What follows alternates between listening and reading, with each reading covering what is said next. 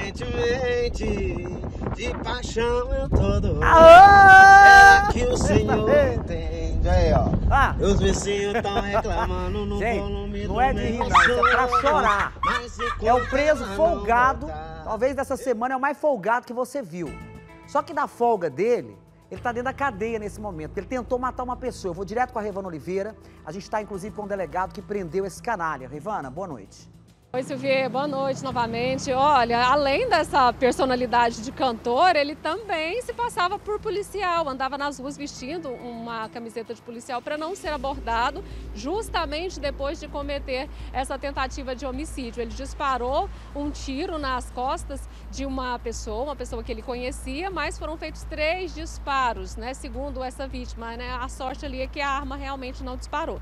Doutor Rafael Borges, lá do 2 DP de Trindade, está aqui com a gente para contar detalhes a respeito dessa prisão. Doutor, muito obrigada pela presença. Então vamos começar a história desde o início. Descreve para a gente o motivo dessa confusão, se é que a polícia já sabe, até chegar aí nesse fato da, do cantor. Sim.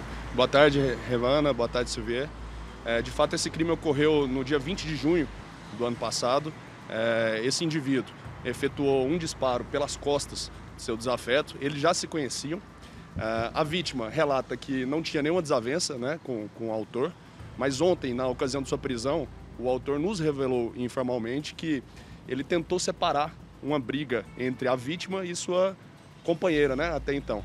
E aí a vítima é, começou a agredi-lo e o ameaçou. Sendo assim, ele pegou uma arma de fogo e disparou pelas costas da vítima. Foi no meio do ano passado e nesse período todo, para não ser preso, ele usava uma camiseta da polícia, polícia civil ou militar? É, a, a camiseta da Polícia Militar. Na verdade, ele foi intimado para prestar esclare- esclarecimentos na delegacia, mas não compareceu. Sendo assim, foi representado pela prisão preventiva dele e desde então ele estava foragido. E nós tivemos a informação que ele se utilizava né, de um uniforme, uma camiseta preta da Polícia Militar, para não ser abordado e, consequentemente, ser preso. Né? Então, na ocasião ontem né, de sua prisão, ele, ele confirmou essa versão e nós pudemos né, apreender a camiseta da Polícia Militar.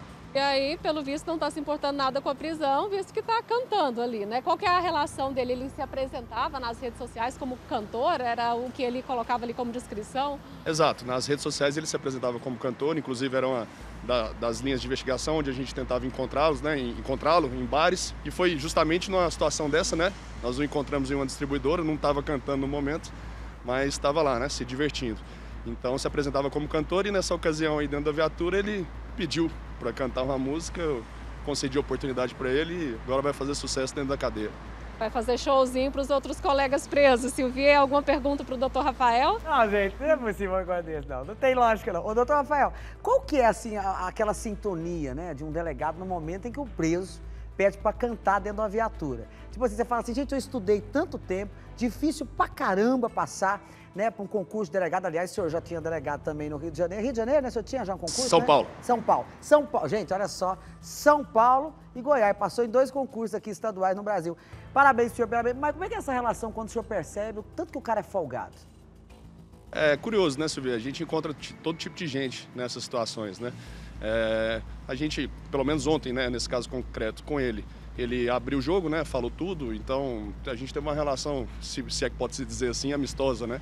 E nesse momento ele pediu para cantar uma música e nós concedemos a oportunidade a ele. A voz dele é boa ou não é, doutor? Seu... Ah, mais ou menos, viu? facilita Pera aí, até- Pevara, só um minutinho. Põe Ah. de novo, gente. Alexandre, eu quero no talo, viu? Vou colocar no talo.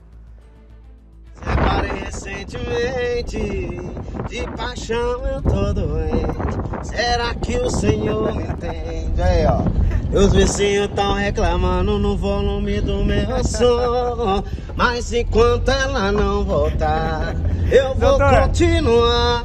Não, não tem... Ô, Revana, pois não, Revana, eu te atrapalhei, mas não Não. tem cabimento, não. Não, eu falando pro doutor, se dá essa liberdade aí pro, pro preso, acaba até facilitando para ele contar ali detalhes, né, doutor?